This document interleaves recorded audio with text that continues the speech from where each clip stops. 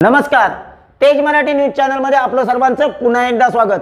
नडगाव जलजीवन mission योजनेअंतर्गत नलपाणी पुरवठा योजनेचा शिवसेना उपनेते तथा पक्षप्रतोद आमदार भरतसेठ गोगावले यांच्या हस्ते शुभारंभ. सुमारे तीन कोटी सहा लाख रुपये खर्च करून होणार नडगावतर्फे बिरवाडी ग्रामपंचायतमधील नलपाणी पुरवठा योजना. महाराष्ट्राचे आराध्य दैवत प्रतिपालक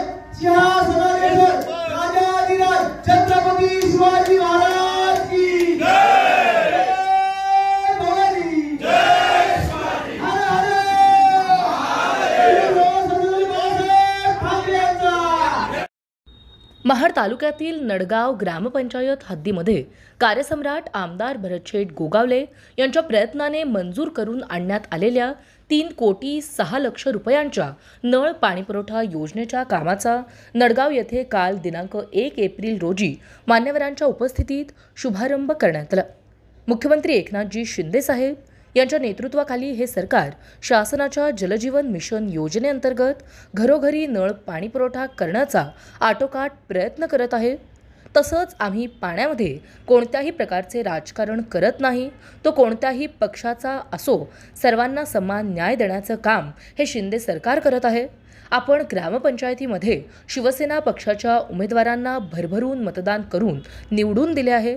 याची आम्हाला पूर्ण जाणीव असल्यामुळे आम्ही या ग्रामपंचायतीमध्ये सर्वतोपरी विकास कामे पूर्ण करण्याचा प्रयत्न करत आहोत असे आमदार गोगावले यांनी आपल्या मार्गदर्शनात उपस्थित ग्रामस्थांना सांगितले.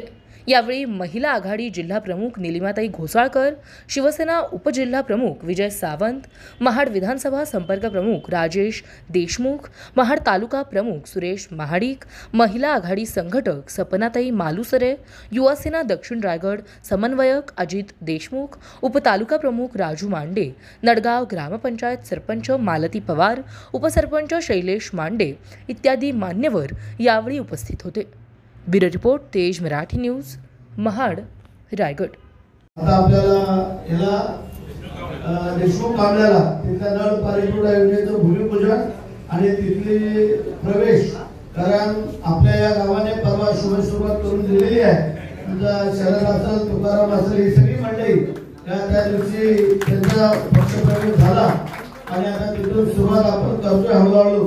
म्हणजे आपण काम बोलतोय. आम्हाला इतर चुकीच्या मार्गाने काय कोणाला सांगून करायचं नाहीये.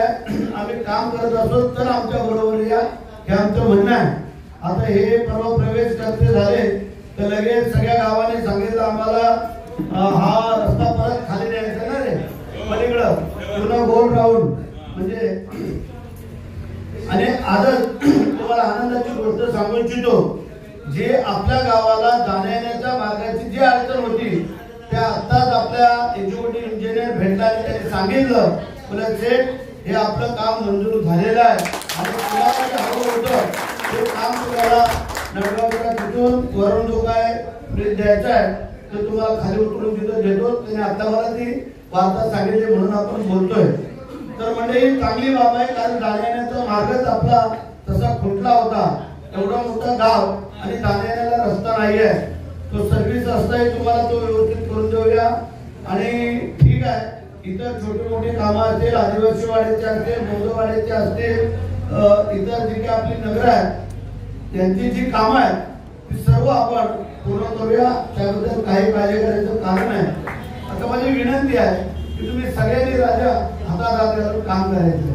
आता जे आपण एकत्र आलोय पूर्वीसारखे सगळ्यांनी एकत्र राहून सगळ्यांनी काम करा.